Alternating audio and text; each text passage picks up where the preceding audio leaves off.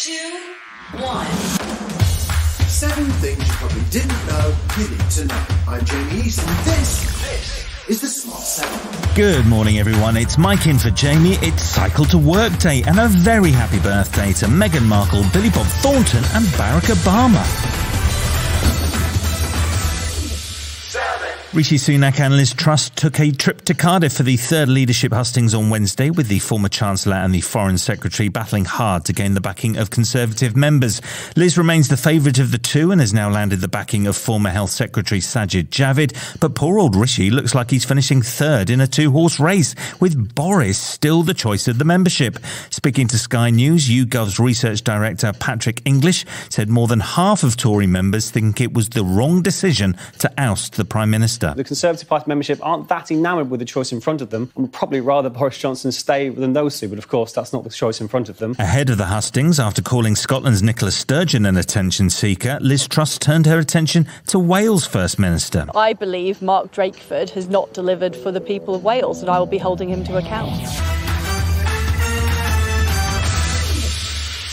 The first visit to Taiwan by a high ranking US politician in 25 years has angered China, who condemned it as a threat to peace and stability. Speaker of the House Nancy Pelosi addressed Taiwan's parliament and pledged American support for the island, which Beijing insists is part of China. Some people are happy about her dropping by, though, including Taiwanese official Wu Kai-shi. I think Nancy Pelosi's visit to Taiwan is a beginning of a process of righting a long run wrong China policy. Taiwan says China's subsequent military exercises, which infringed on its territory, amount to a blockade. But others, like former diplomat Victor Gao, thinks they were justified. China has given repeated warnings before her visit, against her visit, and she disregarded the Chinese warnings. She disregarded the President Biden's counseling as well as Pentagon's counseling. And what would happen if things escalated and there was an invasion of Taiwan? China expert Rana Mitter told Times Radio it would be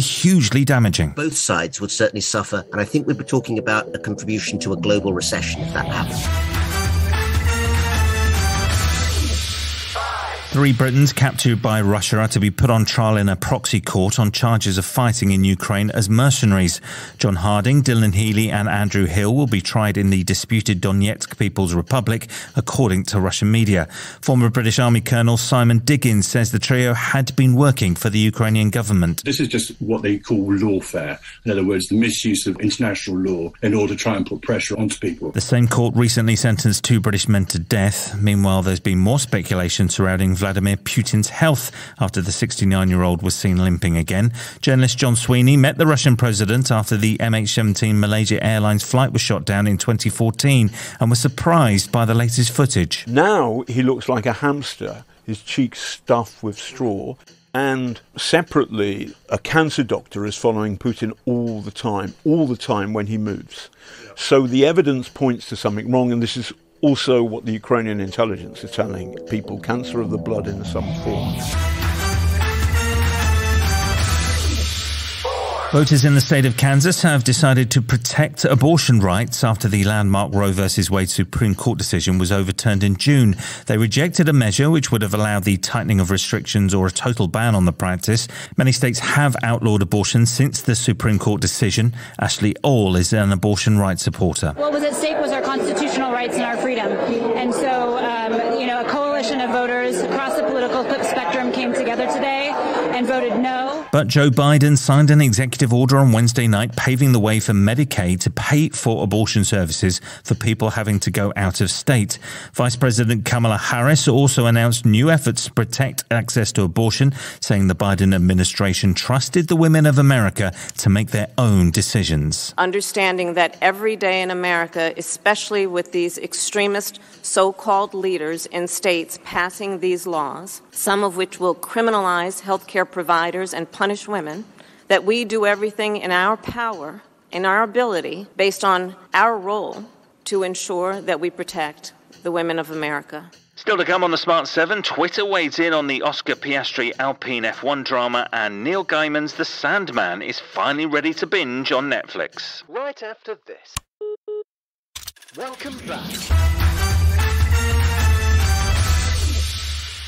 It's officially Formula One's transfer silly season, and the Alpine team were left red faced after reserve driver Oscar Piastri denied he'd signed a deal to race for them in 2023, just an hour after they had announced he had.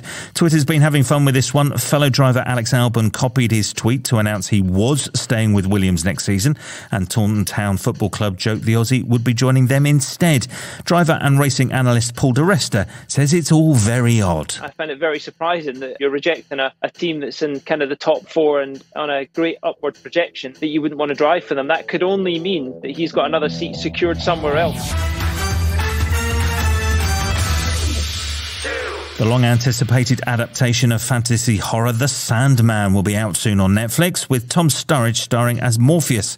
After starting life as a comic in the 1980s, the original series ran until 1996, followed by a bunch of sequels and spin offs. The series debuts on Friday, but creator Neil Gaiman says there's plenty more to come. What's lovely about Sandman is we've taken the first two volumes, basically. Uh, the first two books are the first 10 episodes. There were 3,000 pages of Sandman Man altogether, and we have told the first 400 pages. Oh uh, so we have we have a way to go.